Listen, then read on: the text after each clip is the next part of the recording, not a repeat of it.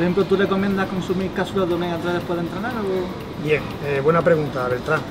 Porque esta pregunta sobre consumir grasas en el post-entreno eh, hay, que, hay que matizarla. Porque son numerosos preparadores y nutricionistas a nivel mundial los que sí embogan por comer una comida eh, rica en grasa post-entreno. O sea, carne roja, un pescado azul como, como el salmón.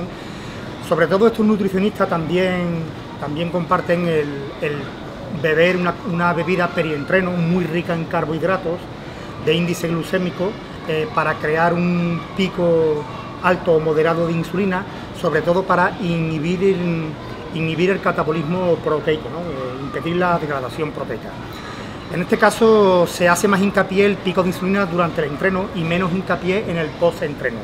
En el caso de la dieta híbrida o en el caso de lo que eh, prefiero tener la oportunidad de elevar dos hormonas eh, anabólicas, como es la hormona de crecimiento durante el entreno, en este caso no me gusta meter hidratos de carbono durante el entreno, sí me hace, sí se me hace importante y me gusta hacer hincapié en que la comida post-entreno sí me cree un buen pico de insulina. Por lo tanto, eh, tomando una fuente de carbohidratos, ya sea rica en amilopectina como el tubérculo, el arroz el yasmín, eh, no me gusta meter una gran cantidad de fibra ni de grasa, Porque en este caso ralentizaría el índice glucémico de los carbohidratos. Es en la comida posterior en la que sí ya podrías meter eh, una fuente de fibra y grasas en la que no es más importante tener un pico de insulina tan elevado.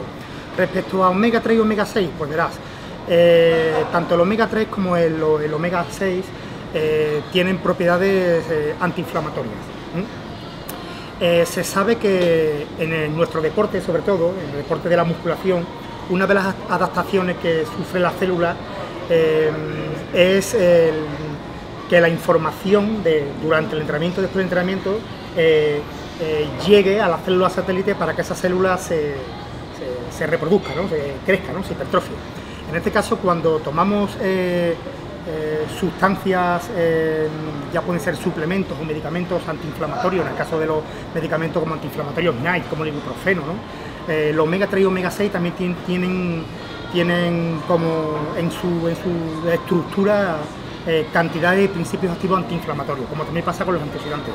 En este caso, en este caso nos inhibirían esa respuesta, ¿vale? esa cantidad de ADN y ARN que llevaría la información a la célula para que se eh, trasloque la información para que se, se, propague el crecimiento muscular. Entonces es mejor eh, apartar los antioxidantes eh, y ácidos grasos esenciales desde, desde tanto el preentreno como postentreno.